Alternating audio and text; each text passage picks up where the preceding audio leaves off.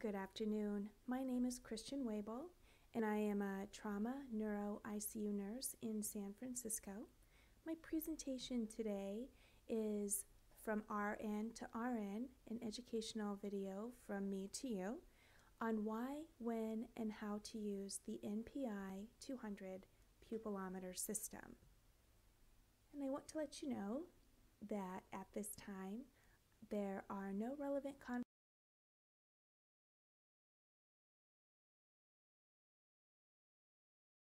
interest to disclose. So, starting at the beginning, why do we check pupils? So, we're really looking at information regarding the shape, size, and reactivity of each pupil, not only in relationship to one another, whether they're equal or asymmetrical, but also changes in pupillary function assessment over assessment. Changes in pupillary function are often excellent early indicators of increased ICP and herniation, and they are detectable much earlier than a change in mentation. So, before your patient begins to become drowsy, we can note changes in pupillary function, which is very valuable as a neuro nurse. So, looking at technology versus us humans, what is the biggest pro to using technology or this piece of equipment? And that is this piece of equipment removes subjectivity. We as humans are providing subjective data to our electronic health records, in that I may consider a reaction brisk while you may consider it sluggish. Do I have a pen light that's brighter than yours? Do I have the little pupil chart that tells me what each millimeter looks like visually? Uh, we erase that. We become very objective when using this technology because it is the same measurement time after time after time. So, big pro is the objectivity of the data.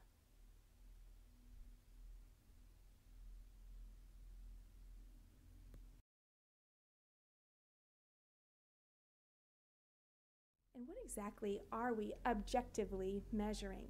So, on a very accurate level, we're measuring the, the size and the constriction, really, of our pupils, well, the patient's pupils. One of the um, readings that you see here is called NPI, and this is actually a picture of the screen of the actual pupillometer. And NPI stands for Neurological Pupil Index. It was a scale which is numeric, 0 to 5, and it was developed by neurosurgeons and neuroscientists. And what it's really telling us is what is the pupillary light reactivity of each pupil?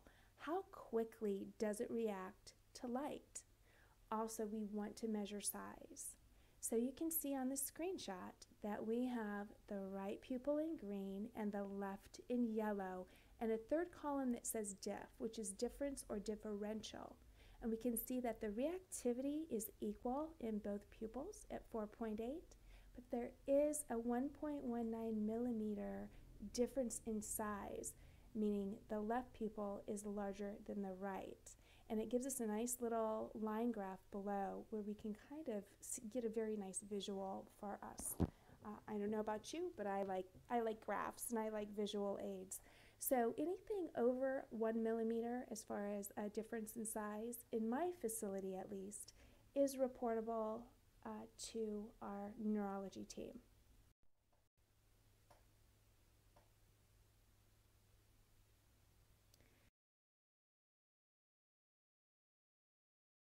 So when is it appropriate to use a pupillometer? And I recognize that I'm coming from a rather unique perspective and vantage point in that I am a neurotrauma nurse in an ICU. But we're really looking at our stroke patients, any kind of traumatic brain injuries, any kind of um, bleeding of the brain that may or may be caused by stroke, aneurysm, etc. In addition to this, I've seen our trauma patients have ordered pupil assessments when they are on a PCA that is delivering an opioid. So, any condition that the doctor or neuroscientist or neurosurgeon feels is appropriate to monitor fluctuations in pupil size and reactivity is the most appropriate time to use this pupillometer. And how often should we be utilizing it? And that's really up to um, the doctor. They generally write the order of how often they want a pupillometer uh, check done. But our nursing judge- judgment tells us that whenever we're doing a neurological check, it's always a good idea to go ahead and take a pupillometer reading. When we have aggressively managed ICP patients, whether they have a Camino bolt or perhaps an EVD, we're doing this Q1 hour. And it is valuable information and allows us to really be proactive in giving care and suggesting interventions. How is it used? Well, this uh, slide is just a very broad, quick overview, kind of a step by step how to use it. So the first thing we're going to do is get a smart guard, and that is specific to the NPI 200. It is pictured in the lower corner. It is disposable and it is single patient use. So you only use it for one patient, keep it in the room, throw it away when they are transferred or they have DC'd the pupillary assessments. It does have a microchip in it that records the patient's data. So we attach it to the pupillometer, and I'll show you that in just a moment, and pair the medical record to the guard, and that's just done through scanning the record number barcode. So then you're ready for use. You're scanning the patient's pupils, the left and then the right, or right then left, it doesn't matter. The buttons are marked right and left. And then we're going to manually, in my facility, enter the assessment numbers into the electronic health record.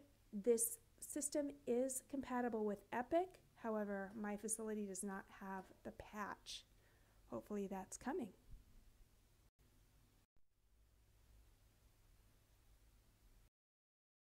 So, what is it that we're looking for when we see this data? And really important is to denote changes.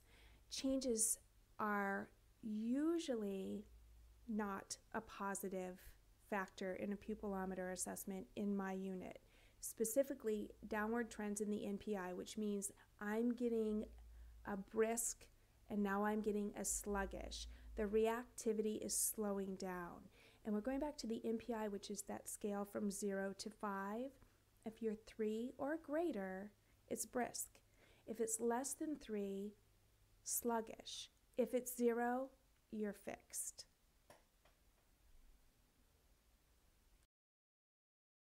So let's take a quick look at the actual pupillometer. And I did shoot this on my unit.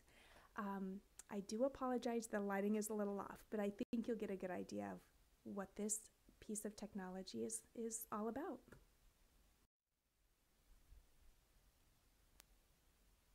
So here it is, it stands in the dock, it charges in that docking station as well. It is wireless and ergonomically designed.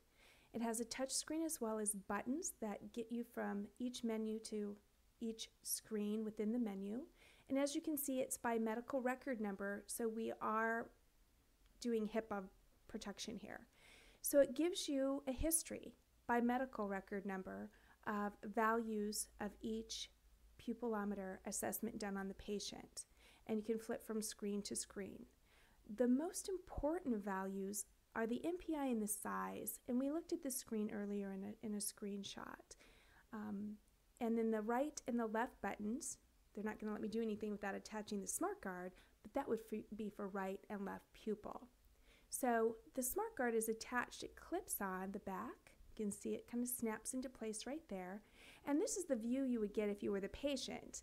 And this is where the light flickers, and you can see my webcam there, and takes a picture of the pupil itself. And I always put it in the dock, make sure it's charging. You can see that there's Bluetooth technology activated. That's how it would communicate with the electronic health record. Again, we're hoping for that patch.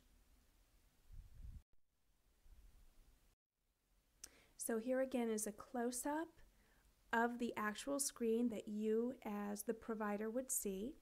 And it has a playback mode that is excellent. These are the actual reactivity shots of the left and right pupil.